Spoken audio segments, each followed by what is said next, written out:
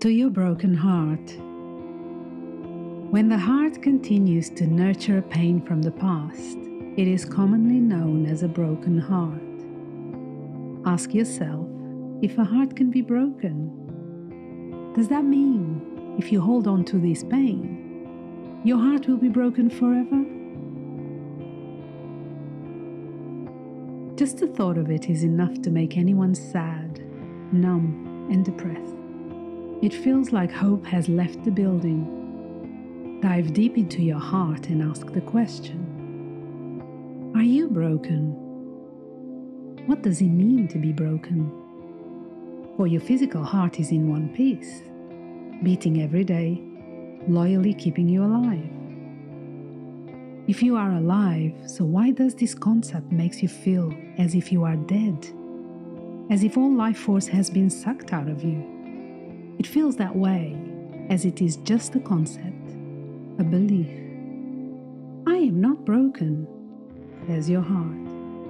I am just wounded. And wounds can be healed, right? Ask the question. Nurturing a pain that is not resolved is what causes the feeling of a broken heart, for your heart is not broken. Your heart is pretty much alive beating, loving, caring, you still love. Love is all that is, the most beautiful feeling ever experienced. Pains and sufferings can be healed, they just take time. It is a choice to continue nurturing them or to work on them, to let them heal or let them go. Most of the time, you won't let go of anything, but you can choose to heal what is wounded. It is when the wounding is healed that the feeling of letting go happens. The freedom is in the feeling. The letting go is just a concept behind the feeling. In the end, you end up scarred but healed. The scars leave you with memories Memories that something good happened at some point in time. Something loving, something caring, valuable.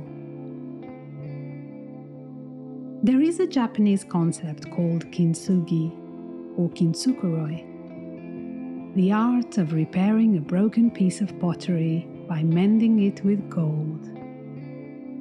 You can mend your so called broken heart with gold like that, your wounded heart has more value than before, because nothing can take away the experience you gained from what has happened. Your heart becomes fuller, more precious, and more loving.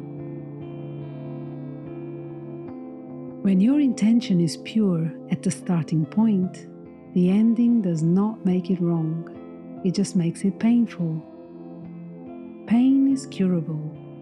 Pain has solutions. Pain heals.